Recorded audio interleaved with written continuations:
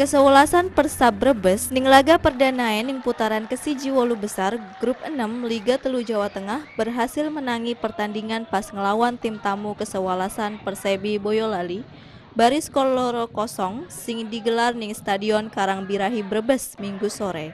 Meski ning babak pertama main imbang laka gol nembe pas manjingi babak keloro Persab mampu ngubah kedudukan.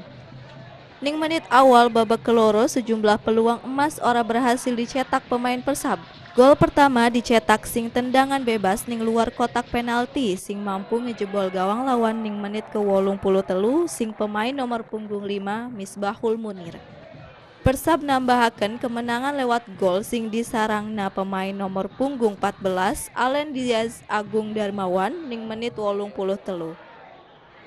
Tim tamu Persebi sebenarnya duweni kesempatan kanggo nyiliki kekalahan, tapi peluang gol sing tendangan titik penalti bisa dimentahna kiper Persab. Kemenangan loro 0 dari modal awal Persab Brebes kanggo pertandingan selanjutnya. Sejene grup 6 wolu besar Liga Telu Jawa Tengah ditonggoni ning kesewelasan Persab Brebes dan kesewelasan Persebi Boyolali. Gedik diisi loro kesewelasan sajene yaitu Persiku Kudus lan Persib Pekalongan. Trihandoko RCTV Brebes.